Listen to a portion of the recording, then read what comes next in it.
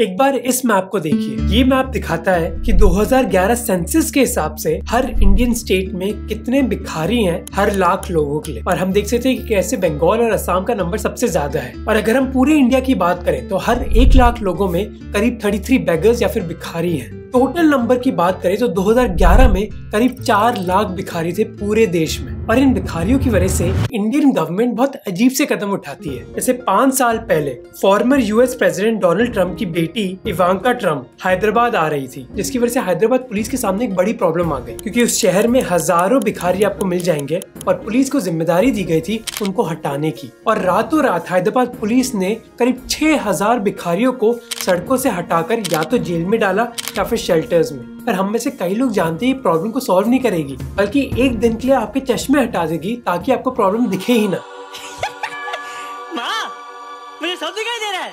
कुछ लोग मानते हैं कि इंडिया में भिखारीपन के लिए मेन कारण है ऑर्गेनाइज माफिया जो बच्चों को किडनैप करते हैं और मजबूरन भीख मांगने के लिए बोल देते हैं। पर ये सच नहीं है। भिखारीपन के कई और कारण है जो मैं आपको बताना चाहता हूँ इस वीडियो में। सबसे पहले बात करते हैं कि भिखारीपन का मतलब क्या होता है। आप शायद बोलोगे कि भिखारी वो व्यक्ति हुआ जो पूरे समाज पर निर्भर रहता है अपनी जरूरतें पूरी करने के लिए। पर दूसरों के दान पर निर्भर रहना कोई नई चीज़ नहीं है हमारे देश में। इनफैक्ट एंशियंट टाइम्स में वैश्वत मनु, वो अपनी राइटिंग में जो ढाई हज़ार साल पुरानी थी चैरिटी के बारे में बात करते हैं। वो कहते हैं कि किसी भी राजा के लिए अनाथ और बूढ़े लोगों की मदद करना बहुत ज़रूरी है। चाणक्य भी ऐसी ही चीज़ कहते हैं। एंशियन इंडिया में आश्रम और गुरुकुल का भी कॉन्सेप्ट था, जहाँ स्टूडेंट्स अपने और अपने गुरु के लिए दान मांगते थे। ब्राह्मण भिक्षा या फिर चैरिटी पर निर्भर थे, क्योंकि उन्होंने अपनी पूरी संपत्ति त्याग दी थी। भगवती, भिक्षाम दे जैनिज्म जैसे रिलीजन में भी आपको चैरिटी या फिर दान का कॉन्सेप्ट मिलेगा। जैसे आपको जैन, साधु और साध्वी मिलेंगे, जो एक सिंपल ज़िंदगी जीते हैं और दूसरे के दान पर निर्भर करते हैं। इनफैक्ट जैनिज्म में दान मांगना एक इम्पोर्टेंट मूवमेंट होती है, एक साधु या फिर साध्वी के लिए, क्योंकि ये एक रेयर ओकेजन होता है जहाँ वो दूसरे लोगों के कॉन्टेक्ट में आते हैं। इसी वजह से प्री कॉलोनियल इंडिया में दूसरे लोगों के दान पर निर्भर रहना हमारे रिलीजन और सोशल ट्रेडिशंस का भाग माना जाता था। और कई लोग का माना है कि हमारी ऐसी सोच बदल गई अंग्रेज़ों के आने के बाद, क्योंकि अंग्रेज़ ये मानने लग गए कि शहर में भिखारियों के आने की वजह से शहर की प्रॉब्लम्स बढ़ जाएँगी। जैसे 1879 में टाइम्स ऑफ़ इंडिया के आर्टिकल ने लिखा था कि ऐसे लोग शहर में बीमारियाँ फैला देंगे और इसी वजह से भिखारियों को शहर के बाहर भेजना होगा। पर कुछ लोग कहते हैं कि एक्चुअली अंग्रेज़ सही थे और हम भिखारीपन और दान के कॉन्सेप्ट को कंफ्यूज कर रहे हैं। वो कहते हैं कि इंडिया में जो लोग दान पर निर्भर करते हैं, वो साधु साध्वी बने क्योंकि वो स्पिरिचुअल होना चाहते हैं। इसलिए उन लोगों को दान देना हमारा धार्मिक कर्तव्य माना जाता है। जबकि जो भिखारीपन है, वो एक सोशल प्रॉब्लम है। वो लोग कोई स्पिरिचुअल चीज़ नहीं कर रहे। इसलिए लोग कहते हैं कि ऐसे लोग हमारे समाज पर एक बोझ है। वही दूसरे लोग कहते हैं अब चाहे वो कॉन्ट्रीब्यूट ना कर रहे हो हमारे समाज में, पर हमारा कर्तव्य है कि कम से कम उनकी बेसिक जरूरतें पूरी हुए। अब चाहे लास्ट पचास सालों में इंडिया में बहुत डेवलपमेंट आई हो, पर अनफॉर्चुनेटली एक भिखारी की ज़िंदगी ज़्यादा बदली नहीं है। जैसे दो एग्जाम्पल्स देते हैं। एक कोलकाता से 1977 और दूसरा दिल्ली से 2016 ये एग्जाम्पल्स आपको बताएँगे कि इंडिया तो बहुत डेवलप हुआ है।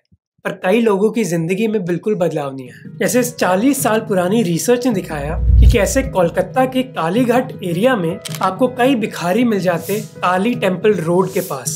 और ये भिखारी टेंपल की टाइमिंग्स के साथ चलते। जैसे मंदिर में दर्शन करने आए लोग बढ़ते, उसी हिसाब से भिखारियों की संख्या भी। अगर उनको दोपहर तक कोई खाना ना मिलता तो वो किसी ना किसी तरह खाने बनाने की कोशिश करते। हैं इस रिसर्च ने दिखा कि कैसे उनके पास मट्टी के बर्तन थे एल्यूमिनियम प्लेट ग्लास बॉटल्स और पुराने बर्तन भीख मांगने के लिए। और अब 2016 की बात करते हैं। 60 साल की सावित्री सिंह प्राचीन हनुमान मंदिर के बाहर भीख मांगती थी। वो डिसेबल्ड है और ज़्यादा चल नहीं सकती। वो कहती है कि उनका बेटा डेली लेबरर की तरह काम करता है। वहीं वो मंदिर के पास भीख मांगती हैं। हर दिन उनको करीब बीस रूपए ही मिलते हैं। पर मंगलवार के दिन जब कई लोग हनुमान जी की पूजा करने आते हैं, तब उनकी इनकम पाँच सौ रुपए हो जाती है। अब ये बस दो एग्जाम्पल्स से दो एग्जाम्पल्स के ज़रिए आप पूरी कहानी नहीं समझ पाओगे और ये हमें बताते कि हमारे समाज में कुछ लोगों की सिचुएशन 40-50 साल में बिल्कुल नहीं बदली तो अब सवाल यह है कि इंडिया में लोग भिखारी बनते क्यों हैं? इसके मेनली तीन कारण हैं। पहला बहुत ऑब्वियस है गरीबी और बेरोजगारी। दिल्ली हाईकोर्ट ने एक बार कहा था कि कोई भी भीख मजबूरी के लिए ही माँगता है। एक ऐसा देश जहाँ सरकार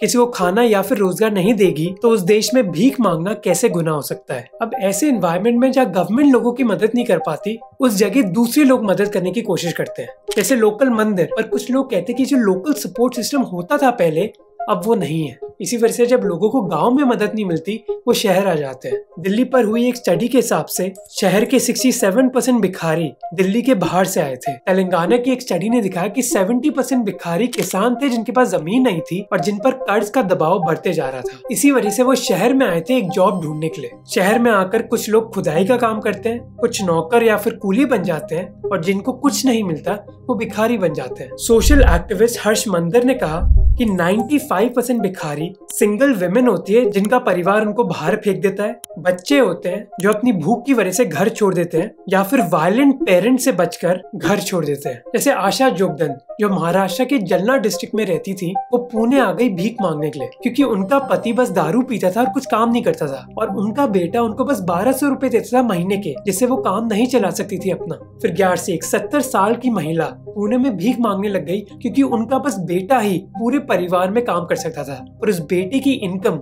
परिवार के छह लोगों को सपोर्ट नहीं कर सकती थी। एक स्टडी ने दिखाया कि 80 परसेंट भिखारी भीख मांगना छोड़ देंगे अगर उनको पैसे कमाने का उपाय बताया जाए। हमें लगता है कि वो लोग जो भिखारी होते हैं, वो फुल टाइम भिखारी होते हैं।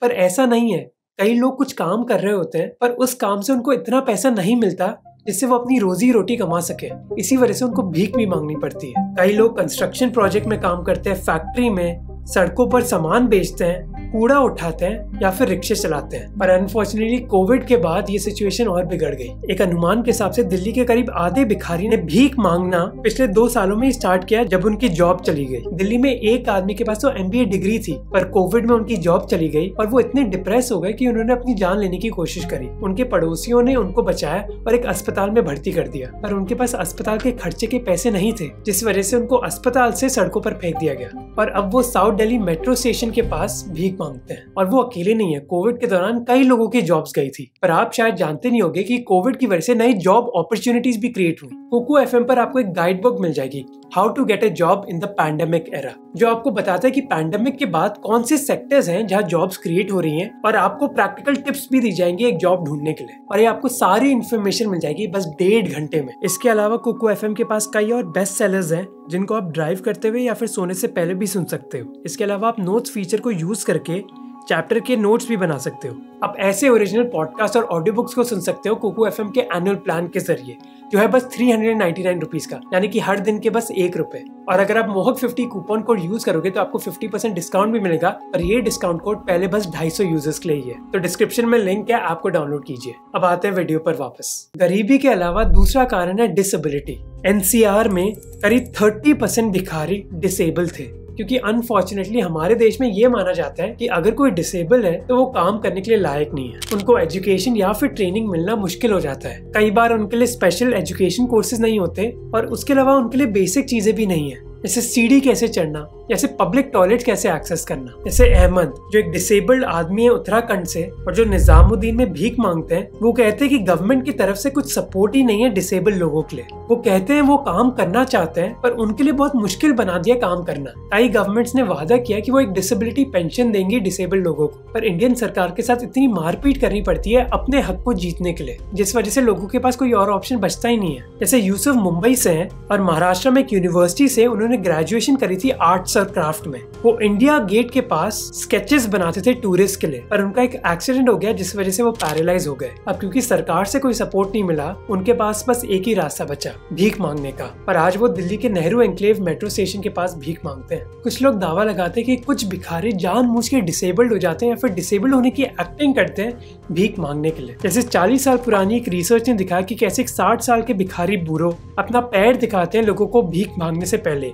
और उस पैर में कोई बीमारी नहीं है। अब ये चीज़ हो सकती है कि कुछ लोग करते हो, पर हमारे पास ये भी एविडेंस है दिखाने के लिए कि सब लोग ये चीज़ नहीं करते। जैसे बाल किशन, जो एक 45 ईयर ओल्ड फॉर्मर सोल्जर है, वो कहते हैं कि कोई भी अपनी बॉडी को काटेगा नहीं बस भीख मांगने के लिए। वो उल्टा कहते हैं कि उनको शर्म आती है कि उनको भीख मांगनी पड़ रही है अपनी इनकम के लिए। फिर तीसरा कारण है रिलीजन अब मुझे पता है कि इस सेक्शन के लिए मुझे बहुत गालियाँ मिलने वाली है। तो मैं बस ये कहूँगा कि इसके बारे में सोचिए। अगर आप मुझसे डिसएग्री करते हैं तो ज़रूर कमेंट कीजिए। कुछ रिसर्चर्स ने कहा कि इंडिया में रिलीजन की वजह से भी कई लोग भीख मांगते हैं। जैसे हिंदुइज्म में दान करना स्पेशली श्राद्ध या फिर मैरिज सेरेमनी के दौरान, एक आम बात है। बुद्धिज्म में भी कई लोग दूसरे के दान पर रहते हैं। और जहाँ इस्लाम में फॉर्मली भीख मांगना अलाउड नहीं है, पर इस्लाम में कई चीज़ें हैं जिस वजह से लोग भीख मांगते हैं। जैसे जाकत का कॉन्सेप्ट जो कहता है कि लोगों को अपनी ढाई परसेंट संपत्ति डोनेट कर देनी चाहिए। और इसी कारण की वजह से आपको कई भिखारी मिलेंगे मंदिर या फिर मस्जिदों के पास। जैसे सफात अली, जो ओरिजिनली है उत्तर प्रदेश के गोरखपुर से। वो कहते हैं कि वो काम नहीं कर पाए क्योंकि उनको पोलियो हो गया था। इसी वजह से वो पुणे के कौसर बाग मस्जिद के पास भीख मांगने लग गए। वो कहते हैं कि इस चीज़ की वजह से उनको अच्छी खासी इनकम मिल गई, जिससे वो अपना भाड़ा भी पूरा कर पाए, अपने बीवी बच्चों की देखभाल भी कर पाए और अपनी फैमिली को गोरखपुर में पैसे भी भेज पाए। अनिल पाटिल जो एक सीनियर इंस्पेक्टर थे, उन्होंने कहा कि ये भीख मांगना तो कुछ लोगों के लिए बिज़नेस बन गया है। भीख मांगना स्पेशली बढ़ जाता है रमज़ान के दौरान। और वो कहते हैं, ऐसे लोगों को अरेस्ट करने से प्रॉब्लम सॉल्व नहीं होगी। तो प्रॉब्लम सॉल्व होगी कैसे? 1959 में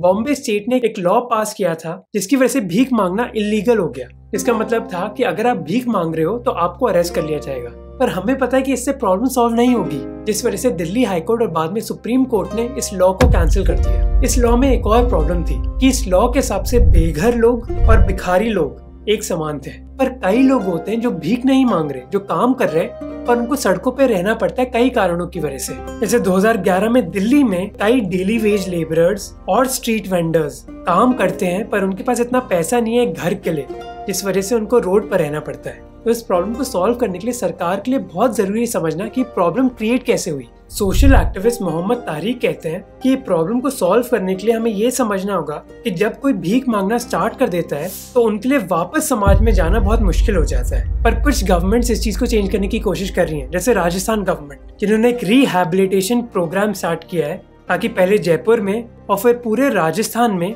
ये प्रॉब्लम सॉल्व हो सके। इस चीज़ में दो स्टेप्स हैं। पहला है कि हम उनकी बेसिक जरूरतों को पूरा करें। जैसे उनके लिए एक शेल्टर बनाए जहाँ वो नहा सकें, सो सकें और उनकी हेल्थ मॉनिटर की जाए। फिर वो लोग जो काम करने लायक है, उनको ट्रेनिंग दी जाए ताकि वो एक जॉब कर सके। जैसे राजस्थान सरकार उनको चार महीने की ट्रेनिंग दे रही है ताकि वो इलेक्ट्रिशियन प्लम्बर या फिर सिक्योरिटी गार्ड बन पाए। ये प्रोग्राम रिसेंटली लॉन्च हुआ है तो हमें पता नहीं कितना सक्सेसफुल होगा। पर कम से कम काम तो करा जा रहा है इस प्रॉब्लम को सॉल्व करने के लिए। अब अगर आपके मन में सवाल है कि नेक्स्ट टाइम जब आप किसी भिखारी से मिलो तो क्या आपको उनको पैसे देने चाहिए या फिर नहीं?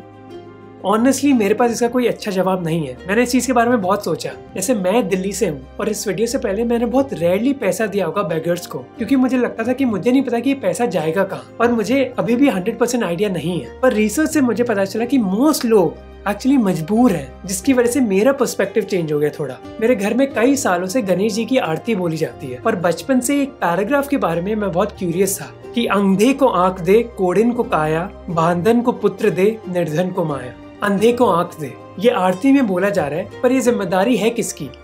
भगवान की, हमारी, या फिर हमारी सरकार की? आपको क्या लगता है? अगर आप इधर तक आ गए और आपको हमारा कंटेंट अच्छा लगा तो प्लीज़ सब्सक्राइब कीजिए जिससे हम ग्रो कर सके। अगर आपको ये वीडियो अच्छा लगा तो आपको ये वीडियो भी अच्छा लगेगा जहाँ हम बात करते हैं इंडियन सोसाइटी की एक और यूनिक चीज़ के बारे में। वो है यूपी और बिहार की डांस गर्ल्स के बारे में। अब यूट्यूब ने इस वीडियो को एज रिस्ट्रिक्टेड कर दिया है, पर प्लीज़ इस वीडियो को देखना ज़रूर। कुकू एफ़ ऐप को चेकआउट करना मत भूलना लिंक डिस्क्रिप्शन में